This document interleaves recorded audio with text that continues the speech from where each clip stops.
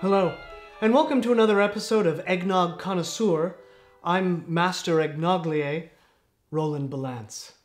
Today we'll be tasting a 2012 generic convenience store brand eggnog.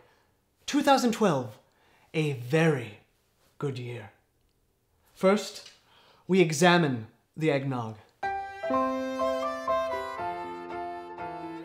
Ooh, it's very thick. Barely any light is passing through it. It's got a pale yellow, sickly off white color to it.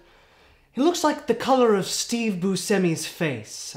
Oh, that is what you're looking for. You want your eggnog to look like Steve Buscemi. Hmm.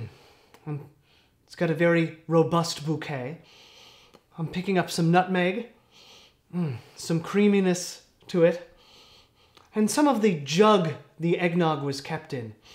Yes, I'm definitely, definitely picking up some plastic jug to it. Next, we taste the eggnog.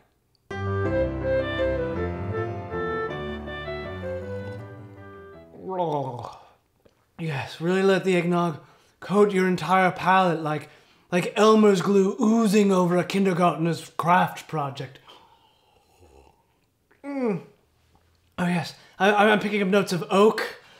Mm. Oh, a little allspice. Oh, and yes, just a soupçon of elf tears. Yes, Santa's elves have clearly been made to cry into this eggnog. Hmm. Well, that's all the time we have for today. Be sure to tune in next week when we'll review Moisha's Hanukkah Nog. It's the only eggnog that comes with a small wooden dreidel in every glass. Happy holidays.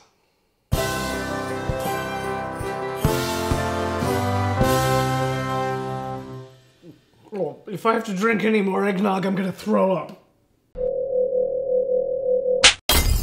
Ah, crap.